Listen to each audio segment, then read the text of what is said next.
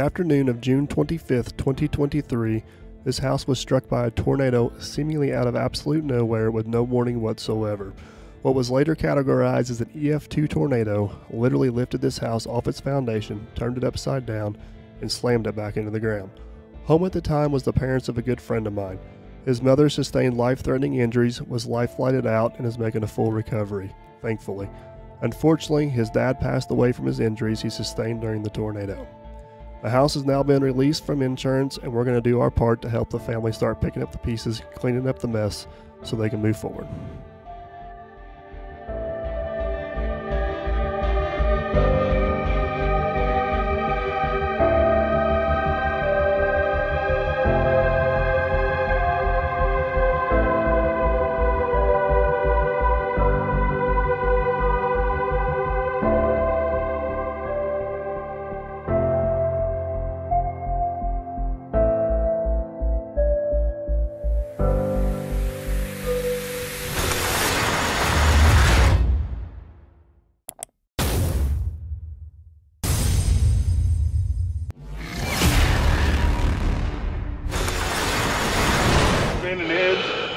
Chad, buddy, this is a mess. It's a big mess.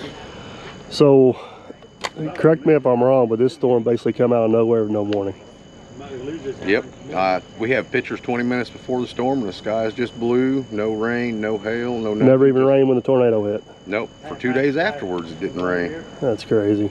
There's a. Oh, did they give you an actual size on the tornado? Well, it was probably at least an EF2. 135 mile an hour winds, and it was an EF2. EF2. I was gonna be my guess, but I'm no meteorologist. But so the house took a direct hit, obviously with no warning or whatever. Both your parents were inside. Yes. Um, had no time to get to the basement.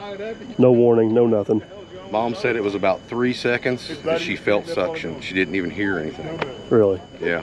Um, your mom sustained some pretty substantial Major injuries. injuries. Unfortunately, your dad didn't make it.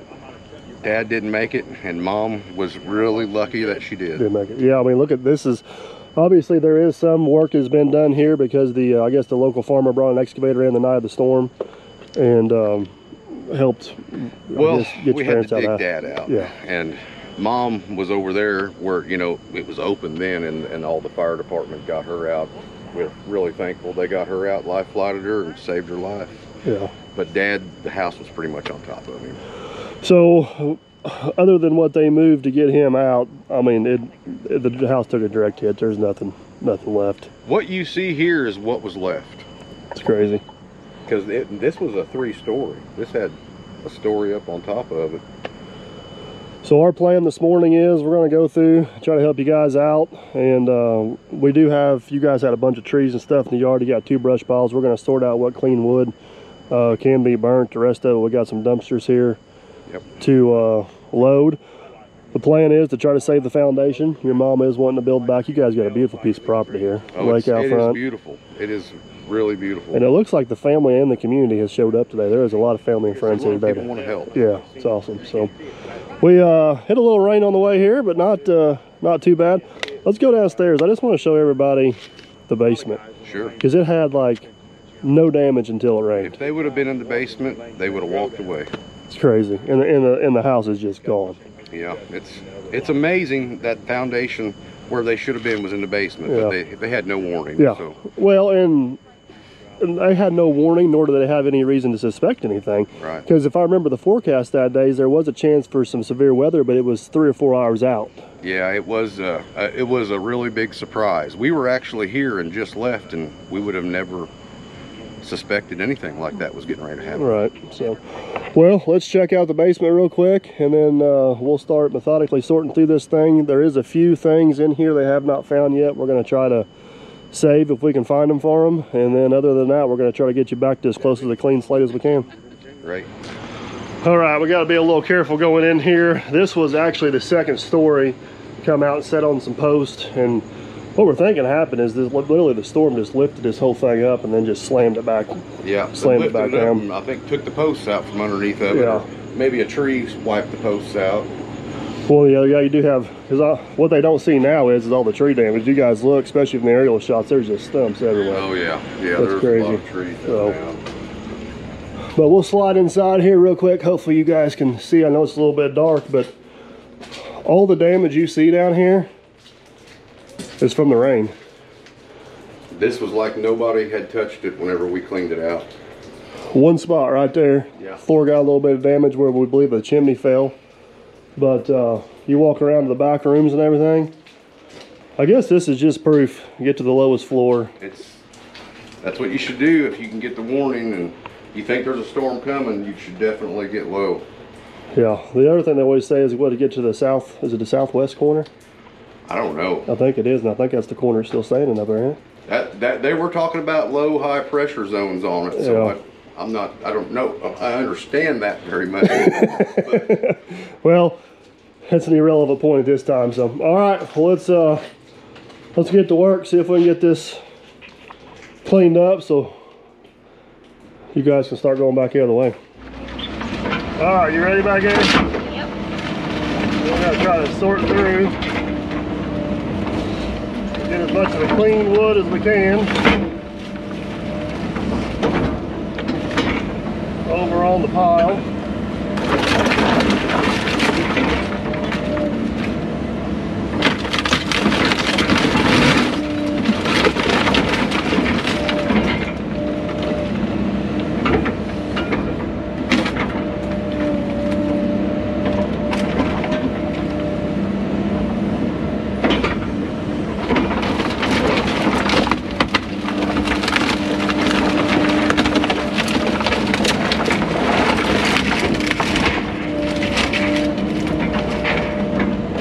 Get up good, Gunner. It should load better.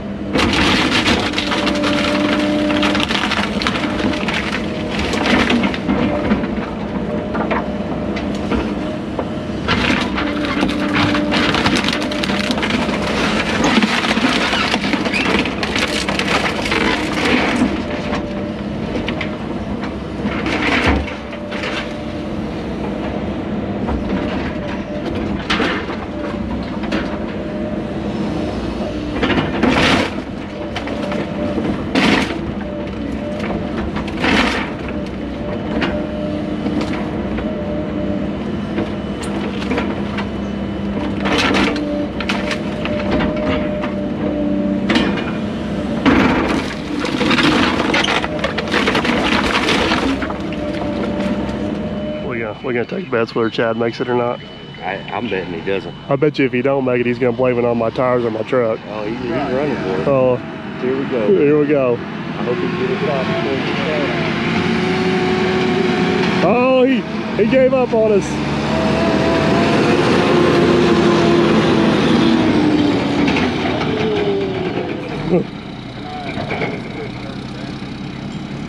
Squeeze play. I thought he was gonna try to straddle. Got just enough rain to make everything nasty. It was actually in the body shop yesterday, so I couldn't go look at it. So something to do with, uh, they'd broken the bedpost thing.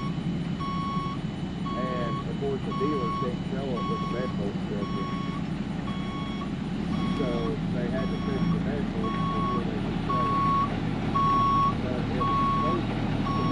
up today. Well, he made it once. We'll see how many more times he can do it. That's good right there.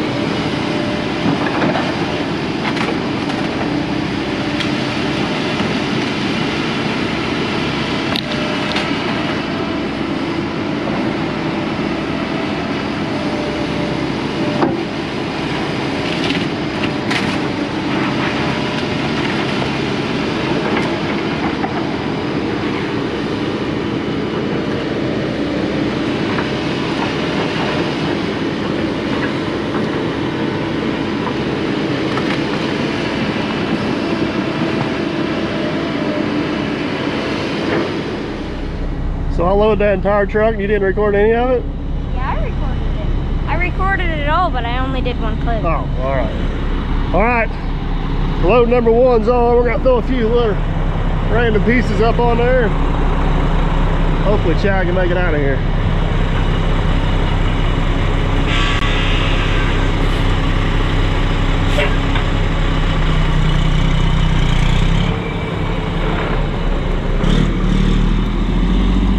Just enough, Gunner, to make it make it nasty. All right. What do you think? You want to finish knocking down that piece right there? Big house piece. Yeah.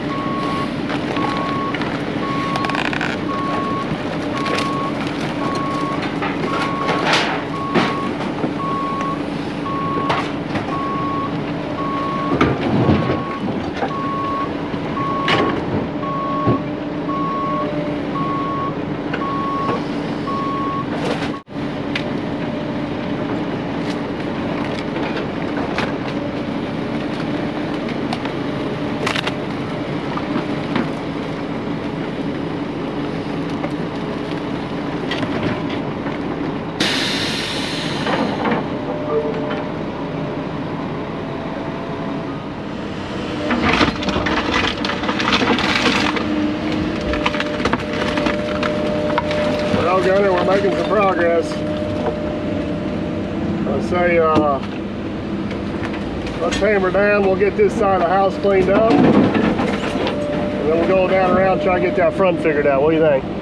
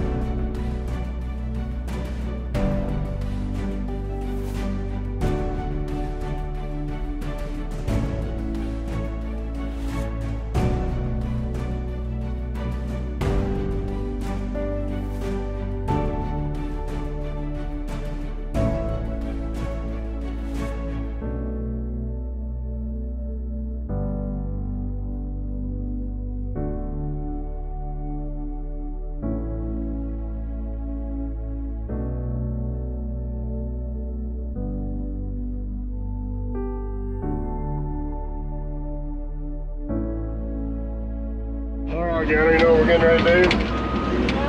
We're gonna take this log, it's like a big broom, try to sweep off that floor. Think we can do it?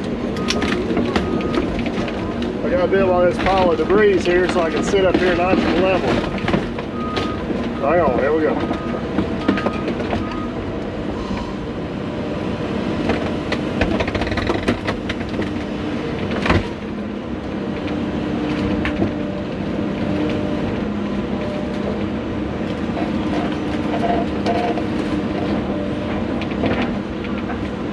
Yeah, hold on to it.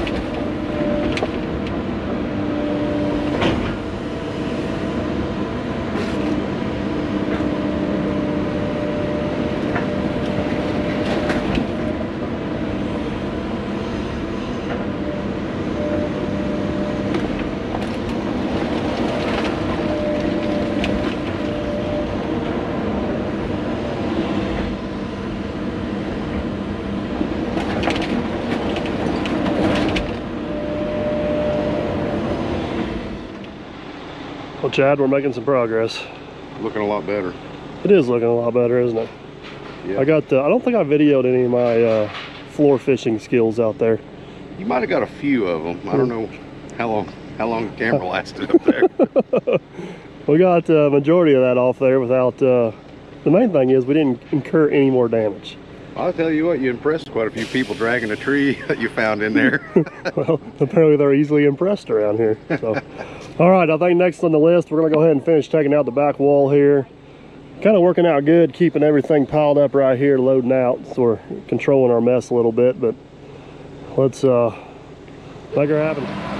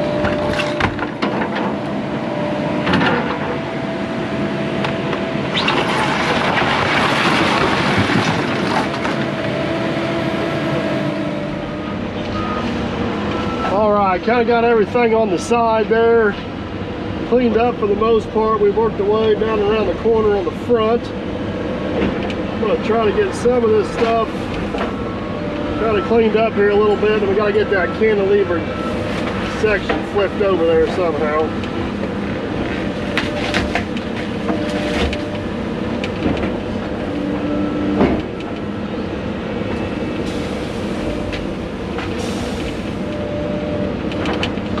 Second tree that's literally been inside the house.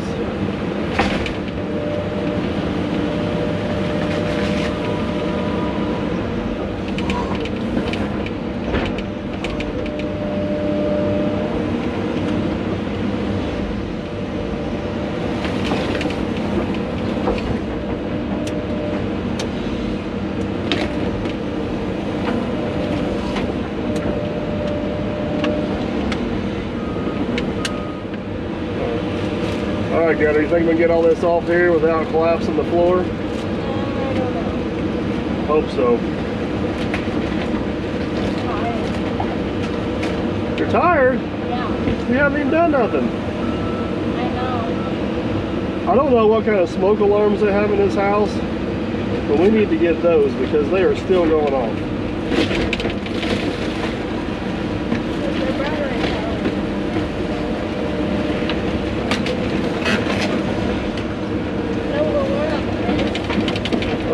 Gonna get this.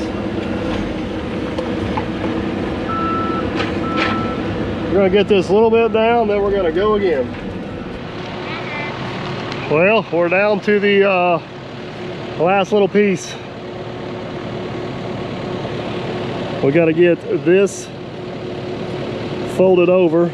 Hopefully save. That front wall of the house is framed, right? It's not concrete? Yeah, concrete. it's framed with stone on the outside there. So there used to be posts underneath this, and they were just sitting on top of that wall. Everything's pretty much broke loose. I'm hoping I can hook the top of it and just kind of fall it over, and then I'll walk on top of that, and we'll grab that last little bit over there, and then we'll get it cleaned up. and We're out of here. Yay. Yay! you haven't done nothing but ride back here in the air conditioner all day Turn the heated seat on. and turn my heated seat on three times. I have not done that. Your foot has. You you said you turned my You're just like Mama. on, and then um I turned it off, and Then you turned it back on. it turned on. yeah, it turned on. You're just like man behind the scenes, but shorter. I turned it on. All right, you gonna video? It turned on. You gonna video? Yeah. You gonna argue? No. Yeah. No, All I right. don't. I don't want a video. Well, too bad. Here we go.